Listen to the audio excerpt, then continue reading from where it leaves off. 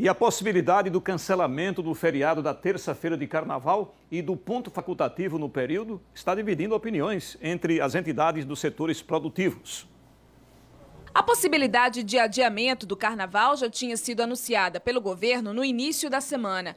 O motivo? O aumento de casos de Covid-19 no estado e riscos de aglomerações, apesar do cancelamento de festas tradicionais. Este ano, no calendário, o carnaval está previsto para acontecer no terceira semana de fevereiro.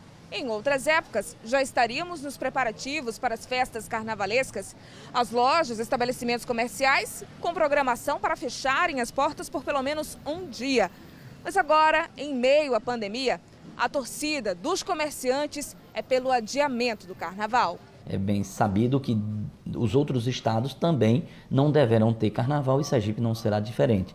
Porém, o que é, é, é importante salientar é que a data do carnaval, que é a terça-feira de carnaval, ela não é feriado no calendário federal. O posicionamento da CDL realmente é que tenhamos um, um dia normal de atendimento. É, eu acredito que exista também dentro da, do próprio comércio, no, dos lojistas, uma corrente que pode é, é, é, é querer abrir e outra que não deva querer abrir. Porém, a gente está querendo simplesmente ter a possibilidade para aqueles que queiram abrir, eles tenham essa condição. Nós entendemos, e não só nós, como outras entidades de classe que estavam presentes em uma reunião ontem do Fórum Empresarial, que a melhor medida nesse momento é deixar que você, empresário, resolva se você quer abrir ou não quer abrir. Até porque tem áreas da economia que dependem demais dessa data. Então, para nós, que seja um ponto facultativo e que você tenha a liberdade de escolher o que é melhor para você. Outras entidades também se manifestaram sobre a decisão.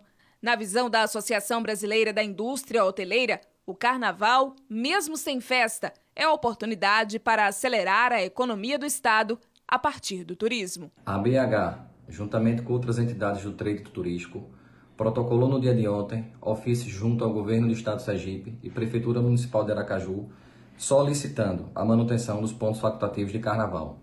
Feriados e pontos facultativos como carnaval podem gerar grandes oportunidades para empresas que trabalham no setor de turismo, ajudando a minimizar os prejuízos que essas empresas vêm tendo em virtude dessa grande crise pela qual o turismo passa em todo o estado em todo o Brasil.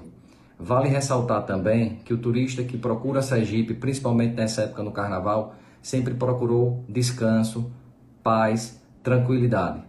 Quero ressaltar também que a BH e as demais empresas também que trabalham com turismo em Sergipe estão tomando todos os cuidados necessários em relação à segurança sanitária